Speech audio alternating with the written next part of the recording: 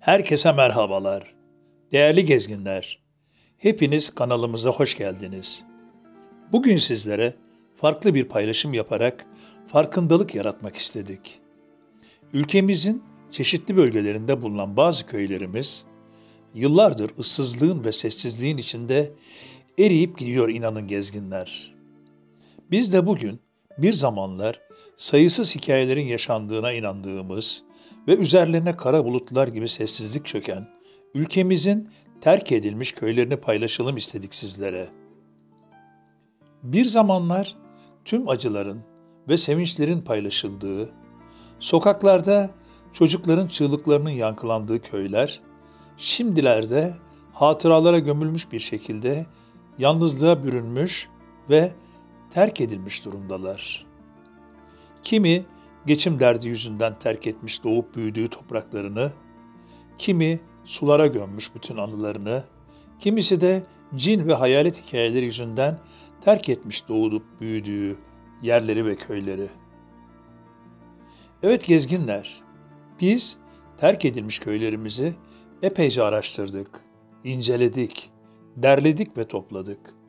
Bu paylaşımı hazırlarken aynı zamanda çok şey öğrendik. Biz hazırız. Siz de hazırsanız şimdi hep birlikte paylaşımımıza başlayalım.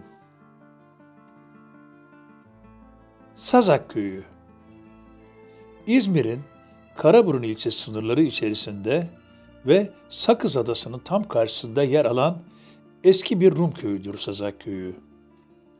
Karaburun Yarımadası'nın batısında bulunan köyde kimsenin yaşamamasının nedeni ise 1923 yılında Türkiye ile Yunanistan arasında imzalanan Mübadele Anlaşması'dır.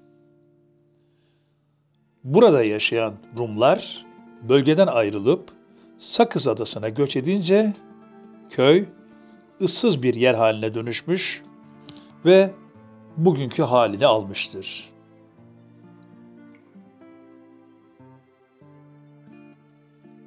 Savaşan Köyü Şanlıurfa, Halfeti sınırları içinde bulunan ve Fırat Nehri'nin suları altında kaldığı için terk edilmek zorunda bırakılan Savaşan Köyü, tur meraklıları ve fotoğraf tutkunları için öncelikli olarak tercih edilmektedir.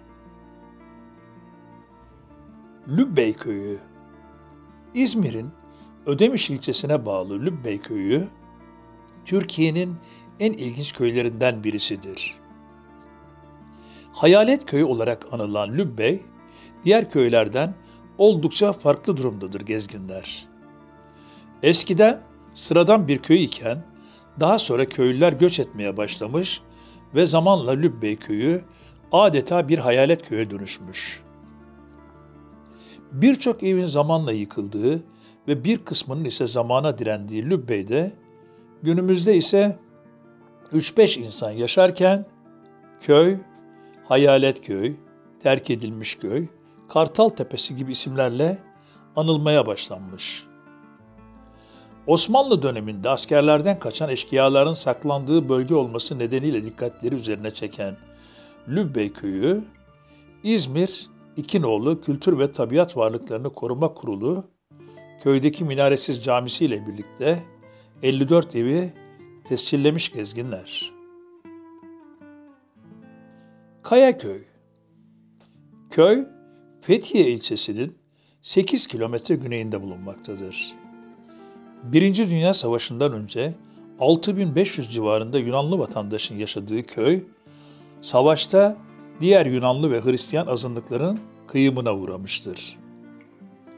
Lozan Antlaşması ile birlikte köyü basan işgalciler Kayaköy'den çıkarılmış olup onların yerine köye Müslüman ve Yunanlar yerleştirilmek istenmiş.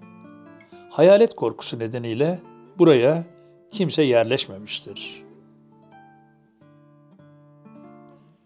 Eski Çıplak Köyü İzmir'in Bayındır ilçesinde bulunan Eski Çıplak Köyü'nü 80'li yıllarda terk etmiş köy sakinleri. Ulaşımın zorlu olması nedeniyle daha uygun bir konumdaki Yeşilova köyüne göçmüş köylüler. Ardında bıraktıkları taş ve kerpiç evler ise zaman içerisinde çok fazla aşınmış ve harap olmuş durumda gezginler. Dereköy Gökçeada'nın en batısındaki Halakasi ve Madraboduz tepeleri arasında yer alan Rum köyü bir zamanlar ülkemizin en büyük köyleri arasındaymış.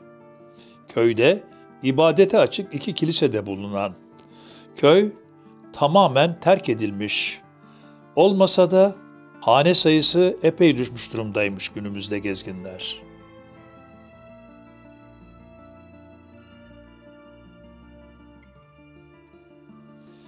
Karanlık Köy Kırklareli'de bulunan Istranca dağlarına yakın bir yerde olan Karanlık Köy'de bir zamanlar dop dolu bir hayat varmış.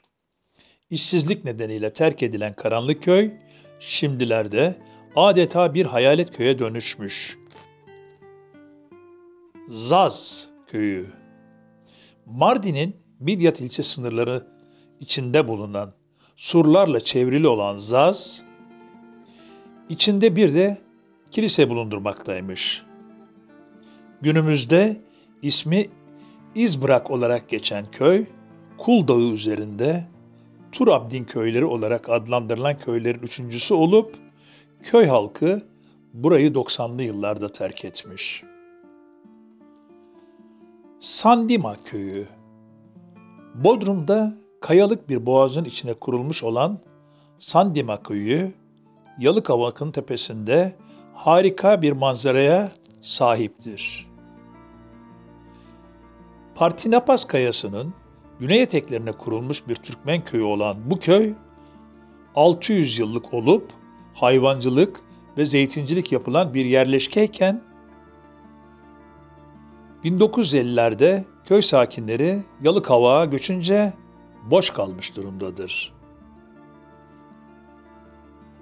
Çökene Köyü Bursa'da geçim sıkıntısı nedeniyle boşaltıldığı bilinen ve hayalet köye dönüşen Çökene köyünden göçen halk eşyalarını bile geride bırakmışlar giderken.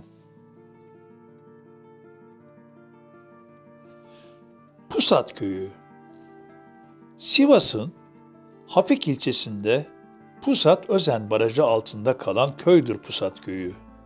Köy, Devlet Su İşleri tarafından 2009'da Pusat Deresi ve Madenköy çayı üzerine sulama amaçlı kurulan baraj nedeniyle boşaltılmış. Değerli gezginler, bugün sizlere terk edilme sebepleri ne olursa olsun farklı hikayeleri olan köylerimizden bazılarını paylaşarak farkındalık yaratmak istedik. Şimdi sıra sizlerde. Paylaşımımızı beğendiyseniz kanalımıza abone olup bizi izlemeye devam edin. Değerli yorumlarınızla ve beğenilerinizle bizi destekleyin. Gezgin amca ile birlikte siz de gezmek istiyorsanız yeni serüvenlerimizde görüşmek üzere. Mutlu kalın, hoşça kalın, sağlıkla kalın.